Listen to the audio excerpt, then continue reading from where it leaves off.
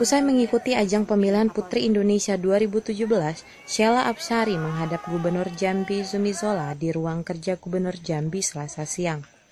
Didampingi Ketua TPPKK Provinsi Jambi, Serin Taria, Zumi Zola mengungkapkan rasa bangganya atas prestasi yang dicapai Sheila Absari yang mampu masuk enam besar.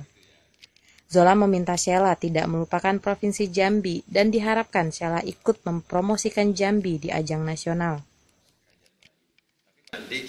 berikan masukan kepada kami. Agar nanti uh, ketika kita berkompetisi lagi ya banyak peningkat peningkatannya karena saya yakin provinsi lain pun akan melakukan yang sama ya. Yang sebelum yang tidak mendapat apa prestasi saat ini pasti akan menggenjot itu. Itu pula dengan kita.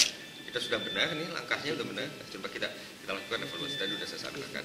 Nah salah satunya tadi saya minta kepada beliau uh, kita ada pemilihan bujang gadis ya dalam waktu dekat ini tolong disalurkan motivasinya pengalamannya untuk adik-adiknya ya.